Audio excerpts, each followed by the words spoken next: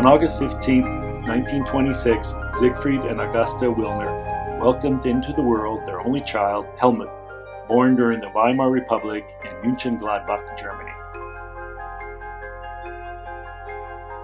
Helmut Willner's father, Siegfried, was a World War I war hero who, as a forward artillery officer in both the Eastern and Western fronts, had his horse shot out from under him and was awarded the Iron Cross for Valor under fire during his four years of service at the front.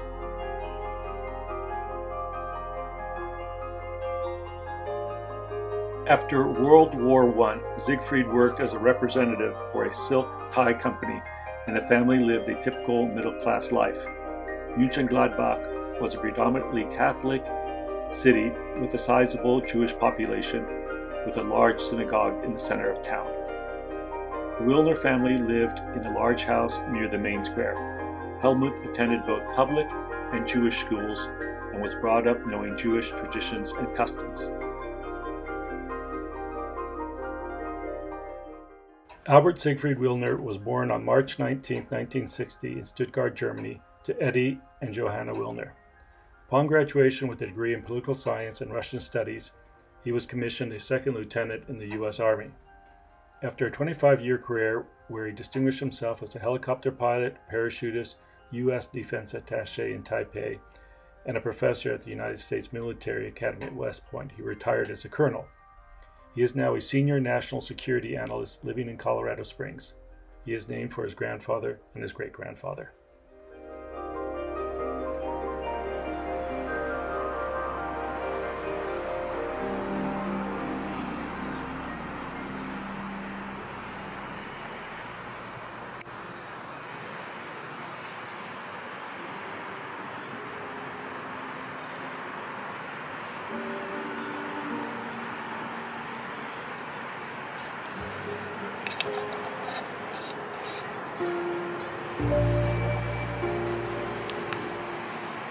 During the night of November 9th and 10th, 1938, Nazi Party stormtroopers carried out a pogrom against the Jews throughout Germany.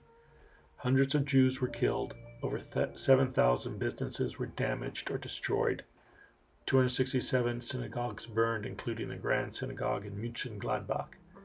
Over 30,000 Jewish men were arrested, including Eddie Willner's uncles, Leo and Eric, who were sent to the Dachau concentration camp.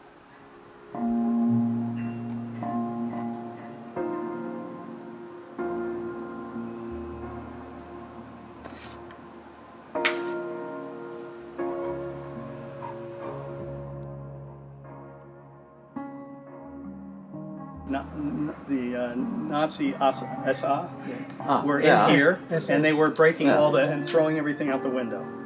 And then his father. Um,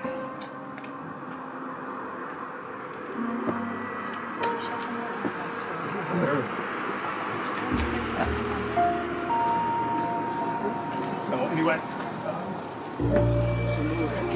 when the Crystal Night happened in Germany, my father decided at that time that his son has to get out of Germany if he cannot get out of Germany.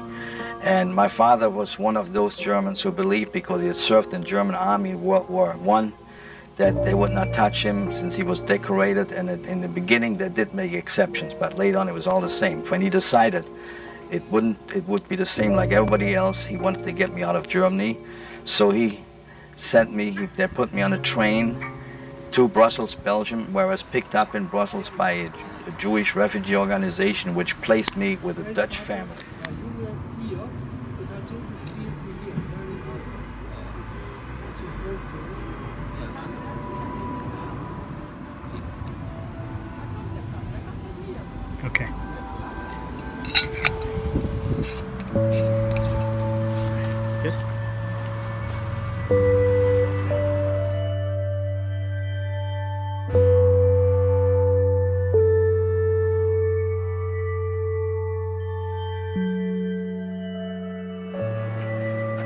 Following the night of broken glass, the Willner family is forced out of their home and take up residence in an apartment near the railroad station. Siegfried is fired from his job. On December 8th, You're after about receiving a passport and permission to leave Germany, Helmut Willner is put on a train by his parents and sent to Be- Brussels, Belgium. He takes with him a suitcase with some clothes and a silver Kiddush cup. Helmut is picked up by the Joint Distribution Center, a Jewish refugee organization, and placed with the League family. He is given the name Eddie because there are still anti German feelings because of the First World War.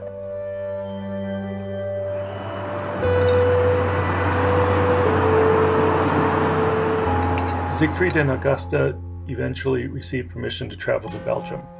Siegfried arrives on January 27, 1939, and his wife Augusta joins him on April 6th.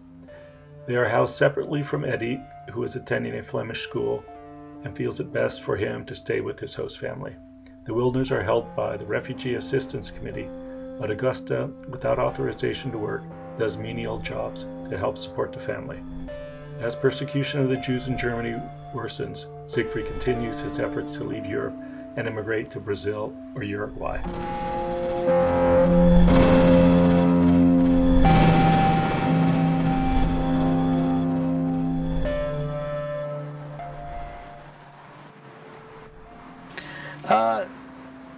Father was considered a political refugee from Germany. Now, political refugees from Germany were not just Jews, but they were communists, Democrats, anybody who had fled Germany because of Hitler. And when the war started, the Belgians and the French uh, arrested everybody that was German, the men first, or mo mostly men, in some cases some women. But my mother and I did not get arrested because we were German. My father was arrested because he was a German. And they knew that he was Jewish, but these were the laws, and they arrested everybody who was German and put them in internment camps, not concentration camps, but internment camps in southern France. Maybe about halfway full.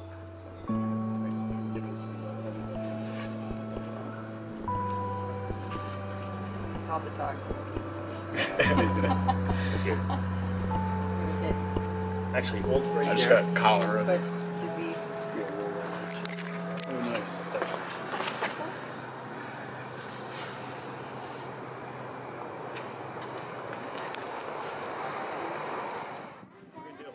How about right here? Now, at the time my father was arrested, by the police of course, Belgian police, we only knew that all these men were being transported to France because the German advance came very fast and they had to put them somewhere. At that time we decided, my mother and I decided, or rather my mother decided, that we should go and look for my father.